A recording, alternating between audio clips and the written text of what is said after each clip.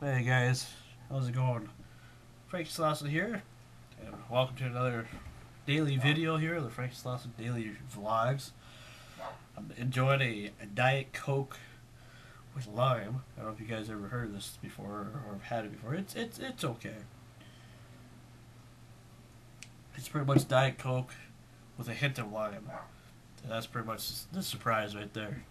Uh, well, I just want to let you guys know that uh, I got some more big news about uh, uh, what's uh, going to be happening next Friday, a week from today, my daily vlogs. Uh, we're going to be actually next weekend. It's actually going to be a pretty big weekend uh, for for myself and my family because when it gets around August it's you know almost the summer's almost over and whatnot.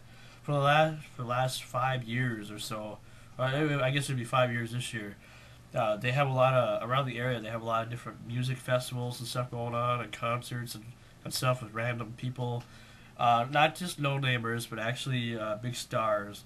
And this year, for our next Friday, uh, the the concert we're gonna go see is uh, John Anderson, and I've always loved John Anderson. If you know who John Anderson is, you, then you know who I'm talking about. He's a famous country musician that to me deserves I mean, he's he, he's a big star. I mean, I, I grew up liking John Anderson because of my dad, and and uh, I've never met him, never you know, always just loved his music, and now finally, next Friday, in less in about one week from today, I'll get to go and uh, see him live uh, for the first time ever, and probably get an autograph. And I'm gonna bring the camera with, so who knows? Maybe I'll get him to say a few words or whatever.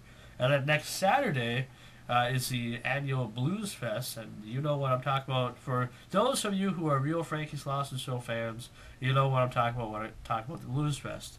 Uh, last year, uh, we went, and I was working at, of course, I was working at uh, Hugo's then, and uh, I went with a couple buddies of mine last year to uh, the Blues Fest at the casino where I used to work.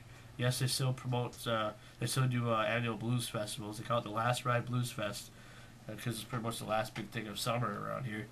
Uh, anyway, uh, last year we, we got to see, as a main headliner, we got to see Los Lonely Boys. Well, now uh, we get to go see John Mayall.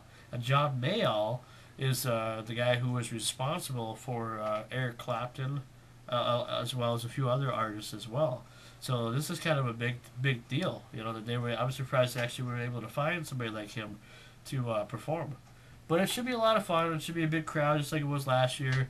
They got a nice tent, so doesn't matter rain or shine. Normally the weather's been pretty good, you know, pretty much every year that the Blues Fest has came. And uh, I also uh, uh, am going to be getting an interview. I, I, t- I called back the guy who uh, runs uh, the AmericInn, and I uh, he wants me to come in for an interview on Monday, this coming Monday. So hopefully hopefully it'll be good news because the last time I had an, an interview, it went okay, but you know they, they hired me, but then they decided not to hire me, you know, and and you know what I'm talking about the radio station way back, you know.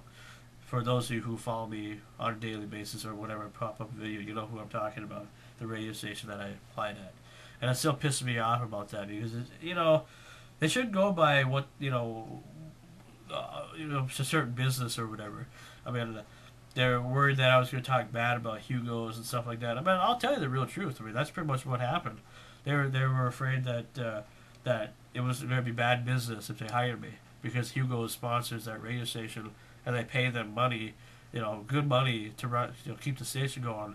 And their Hugo's, it wasn't the station that I was worried about it; it was Hugo's that was worried about because they saw one of my videos talking about that and they were worried that uh, that they they didn't think it'd be good business. So technically, what you can say is Hugo's cost me a job, is what happened. You know, based on me talking bad about them in one of my videos or whatever. So after they fired me or whatever, after they let me go, and so as their as their big fuck you to me, they uh, you know they let me go. They decided not to hire me at the radio station because they were afraid it was bad business. I normally you know wouldn't talk about that anymore because it's, it's so long ago. But that's the reason why I'm not working at KKDQ right now, and and that's the reason why I decided I'm not going to work there. I decided, you know, they screwed me over once. If they screw me over again? So I decided, you know what, I'm not ever gonna work for those people. You know, in fact, the next time I, I've kind of decided that the next time I decide to get on my own again, you know, depending on if I get the job at the Roseau or wherever, that any place that I live next time, it's gonna be in a bigger city. I don't think I'm going to live in Thief River anymore, unless I can, unless I know I can get a job in there uh, with the help from Voc Rehab or whatever. But they haven't gotten back to me either yet, so we don't know. Anyway, so I'm hoping good things for the, for uh, working at the Roseau uh, AmericInn. It's a nice place, a nice fancy hotel with swimming pool and everything. Uh, you know, I don't know if I'd be a night clerk or if I'd be, uh, uh, I don't know what I'd be. If I'd be a night clerk or if I'd be a, a housekeeper or whatever. But it sounds like a fun job, and it would be kind of nice because, you know, then I'm working at my own pace, and you know, I'd rather do a job where I don't have to deal with a whole bunch, bunch of people all the time. You know, that would be the, the Bob Diggity. So hopefully, I don't think the guy that uh, uh, I'm going to be having an interview with uh, watches my videos, so I don't, you know, we're not even friends on Facebook yet, so I don't think I have anything to worry about. And uh, you know, I'm a good worker. I mean, you know, I'm just getting sick and tired of getting screwed over. You know, where a person says they're they're hiring and looking. That's one of the problems that has been for me this whole summer. I've had many opportunities to, to work for other people and whatnot who have told me, who guaranteed me that they need somebody. But then when I call them back the next day or whatever, uh, they say that, uh, oh, we decided to go with somebody else or whatever. Or, or we decided we don't need anybody after all. So, but this guy, uh, who was in charge of the American, didn't say that to me. He he seemed like a pretty decent guy, and he seemed like somebody who I would definitely love to call my boss, even though I don't even know him. But I, I, I think he would be a, a decent person, you know. And it's a nice fancy place where you can dress up and stuff. And I got a lot of nice clothes that I haven't wore because I haven't had no purpose to wear them. But I would if I got the job. I would prove to these people that I can do it. You know, whatever thing you want me to do. I don't need full time. I'll work part time. You know, it's not a big deal. But anyway, so that's one of the reasons why it's been tough for me to find work because I've been getting screwed over a lot by by little companies. Even though even the little video store that I was going to work at, they don't pay you much. They pay you like six something an hour, but yet they didn't have the balls to come and call me up. They they, they just automatically assumed I didn't I wasn't qualified or whatever. You know, but they they pick somebody else who you know who they assume would be qualified, and they can't even get a hold of that person yeah, it's it's messed up, and I don't mean to to get you know to mention about that here on YouTube and keep it too personal because I said I said the past was going to be the past, but I'm still looking for work. Even though I'm doing these daily vlogs, doesn't mean I'm back on the wagon again or back you know making money again. I'm making a little bit of money on, on from the AdSense, but I won't see any of that probably until the end of October or September or October. My first hundred dollars. So uh, because that's pretty much what is that right and it's all because people clicking on those ads. So the more you click on the ads, the more that's how you gain revenue. Hence, ad revenue. I guess I found that, that out. It doesn't matter how many views. I mean, if I was getting thousand views per day or whatever, yeah, I'd have a big impact on that too. But because of whatever advertisement I have, some people would tell me I should just block the ads. But if I do that, I won't make no money.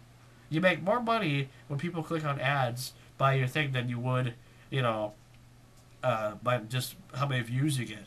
That's a little word of advice for some of you guys who have been wondering about AdSense. It's all based on more or less not just how many views you get or how popular you are, but how many times do people click on the ads. You don't necessarily have to buy anything from, from the ads, but what, what you have to do is you click. You can click as many times as you want, and that's based on how many people will uh, will go with you. If you're a partner, you you probably see a little bit more but even with the partner thing, see, I'm not a partner. I'm just somebody who uh, got to. Uh, they they said, well, you you've got enough videos now where we know that you're you're you're you know trying to do you know daily videos and whatnot, and so let you know if you want to make money, all you gotta do is sign up, and I did. So it's like it's like even though I'm not a partner, but now I can make a little money. So that's good enough for me, you know. So anyway. oh. But anyway, so I just figured I'd let you guys know that. Sorry for the the last couple days. The videos have been kind of short. I haven't really, I've been kind of busy myself too, just trying to find work and everything, and just, you know, and and whatever I can do. So that's pretty much about it. Tomorrow is my sister's birthday. I don't know for sure what she's gonna do, but uh, we will have a video up regardless. So we'll see what goes down, but it, it's going to be a pretty good weekend. SummerSlam weekend, by the way, for you uh, WWE fans out there. Uh, a lot of good matches going to be happening. Uh, who do you think is going to win the the who's who do you think is going to be the the undisputed WWE champion? Do you think it'll be CM Punk or do you think it's John Cena? I think it'd be CM Punk because CM Punk to me, I think anybody can out wrestle John Cena. John Cena's a horrible wrestler who who is getting the royal treatment when he can't even wrestle that good. CM Punk should be the one. The, he should be the man, if you ask me. But anyway, let me know your thoughts down below, and let me know about your thoughts about John Anderson and John Mayall and, and anybody else that you want to talk about. Uh, yeah. So, Frank Slawson, we'll see you guys a little later. We'll see you guys tomorrow for another great Frank Slawson Show daily vlog.